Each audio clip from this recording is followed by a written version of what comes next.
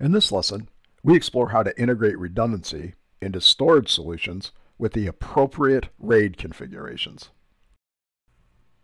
The acronym RAID is interpreted as Redundant Array of Independent Drives or Redundant Array of Inexpensive Disks.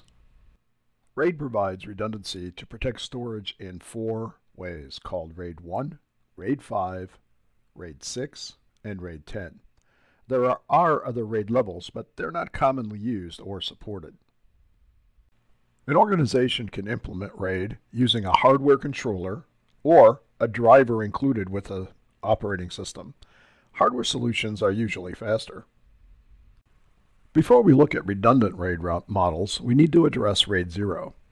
If an organization needs faster storage access and doesn't care about redundancy, RAID 0 is a good choice. The first level with redundancy is RAID 1. Also called mirroring, it writes blocks to two drives. This duplicates all written data. RAID 1 provides excellent redundancy in case of a single drive failure.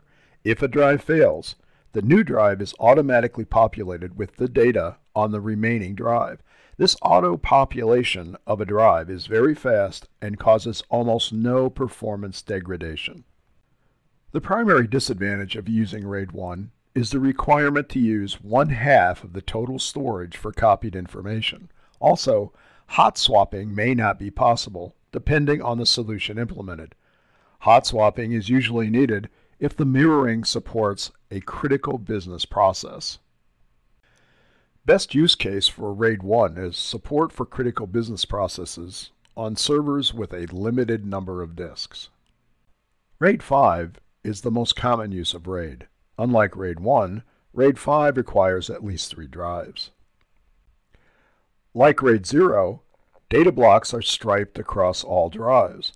Unlike RAID 0, RAID 5 also places a parity checksum on one of the drives for each block written. Reads from a RAID 5 array are very fast. If a single drive fails, there is no interruption to the supported business processes. Also, much less storage is used for redundancy than in RAID 1. If a RAID 5 drive fails, performance suffers. Performance can be further affected during the rebuild of a new drive. Drive rebuilds can take from hours to days to complete. These are reasons why other RAID level choices might be better when performance hits are never acceptable. The VRLA Tech RAID calculator lets us determine how much disk space is available for storage and the speed increases with a given RAID array.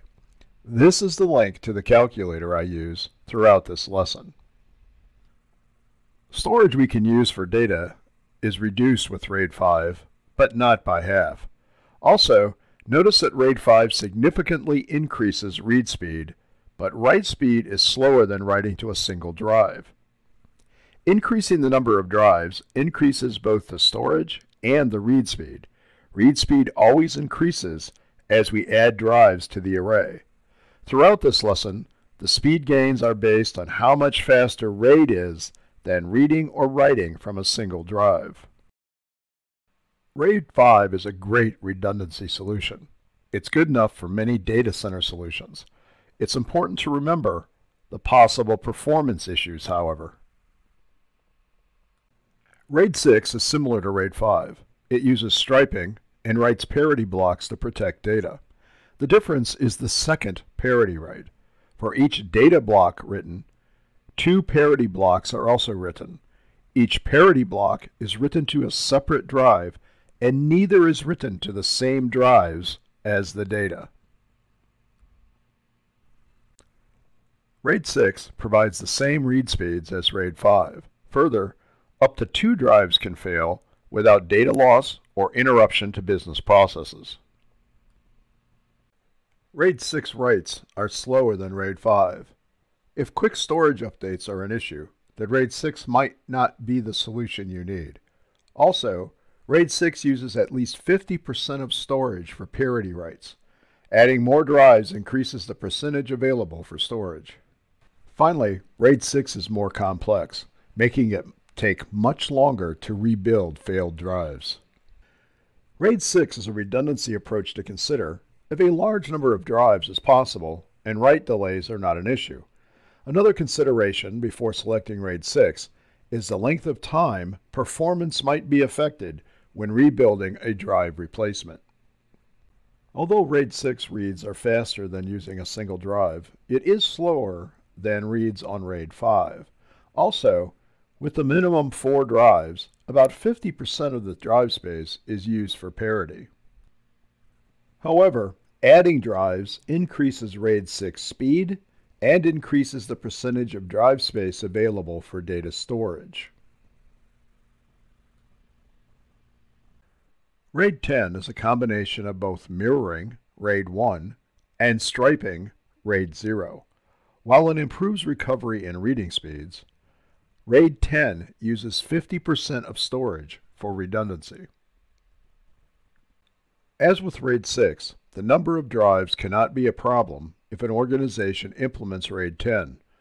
But RAID 10 has the fastest read performance, it also eliminates most, if not all, performance issues associated with the drive loss. Finally, one drive per RAID 0 array can fail with no loss of data.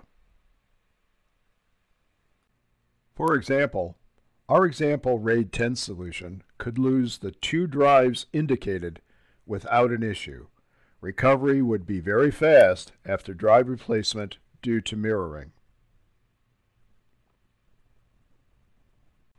The one big disadvantage of RAID 10 is storage use for redundancy. Like mirroring, it's 50% of the total amount of disk storage available.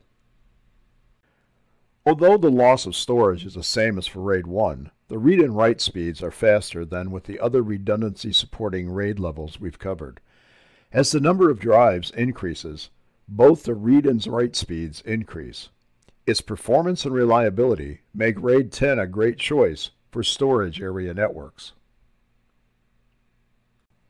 Well, that's it for this lesson. If you have questions, please ask. And until next time, be careful what you click.